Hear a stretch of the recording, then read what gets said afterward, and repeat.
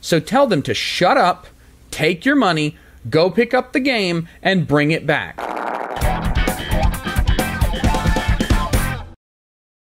Regular viewers of my channel will probably know that I'm pretty hardcore when it comes to liberty.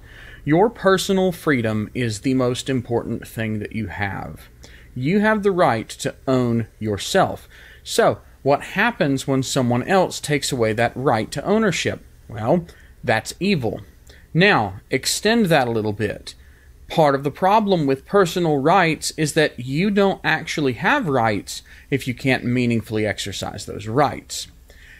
In this case, censorship is also evil because censorship means that you are not given the ability to listen to things that you want to listen to, to consume things that you want to consume and the person producing it wants to give to you. You might be wondering what this has to do with Steam and piracy, but let me get to it. Several years ago, Valve said they would not be stopping anyone who wanted to publish something to the Steam store from doing so. How dare you! How dare you! How dare you do such a thing! How could you do this? You don't seem to understand. Your decision is going to hurt women and minorities and trans people. You don't seem to get how oppressive you are. There is a veritable shitstorm on Twitter of people who are complaining that Valve is making everything unsafe. That it's unsafe, unsafe to allow content that they disagree with. And that's the banning of a game called Domina from Steam. Who cares if it's a good, bad, or terrible game? It was not banned because of the game.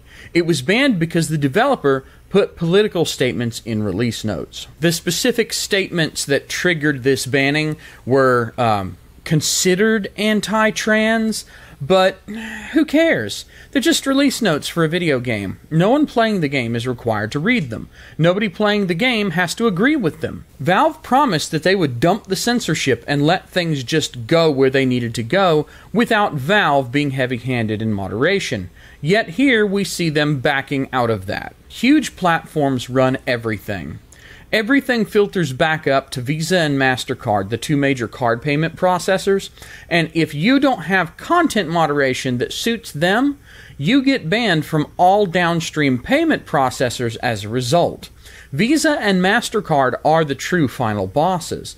But this is a Steam decision. This is Valve making this choice, not Visa or MasterCard. And even though they're the final boss, the bottom line is the minions that are the corporations must do the bidding of their masters for that bidding to actually take practical effect. What we see here is a developer engaging in wrongthink in release note commentary. Now, whether you think they are tasteful or tasteless, the bottom line is they should be free to say stupid things in their release notes. If you don't like it, you can choose not to do business with them. You can choose not to play their game. You can choose not to give them money or attention. That is your choice. Other people may make a different choice. What Steam has done is take away the choice. This comes back to the concept of self ownership, the concept that you have the right to conduct your life as you see fit.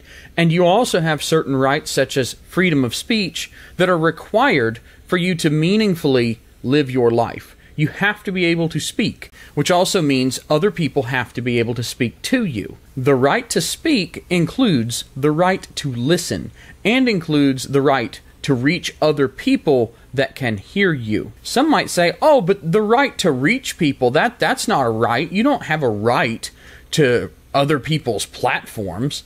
And you know, that might be legally true.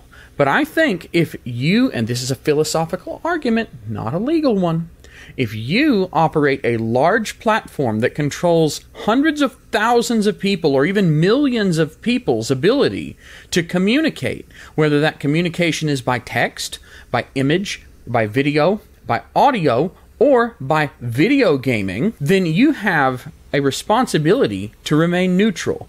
Which means if someone does something crappy, you let them be crappy and you let other people put them out of business or ignore them, avoid them, refuse to share them. You let freedom reign supreme. If you operate a large platform, that is your only responsibility.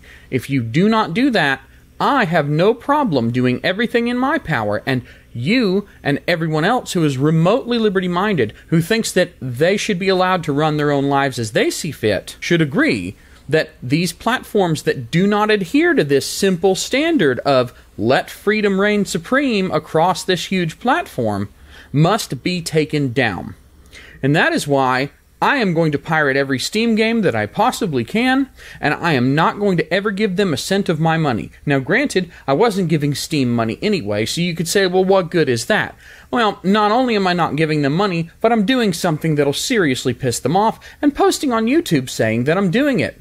You know what? YouTube won't let me advocate for this. They won't allow me to say that you should do something like that. So I won't. I'm not saying that.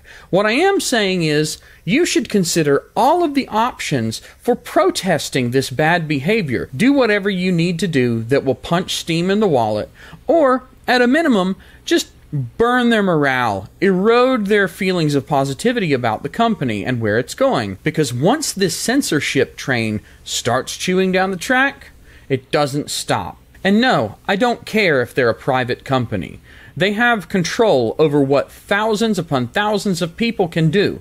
People who only come there to buy stuff that other people want to sell to them. They're not some sort of parent. They're not some sort of authority figure over you. They're a middleman. Their job is to shut up and take my money. Their job is to shut up and take the stuff from the other guy and give it to you and then deliver your money to the other guy. That is their job. So tell them to shut up, take your money, go pick up the game, and bring it back. They're getting a cut. That's all that you need them for. That's all that they should be doing. The fact that they're doing anything beyond that is absolutely reprehensible, and you should not stand for it. You should not support it.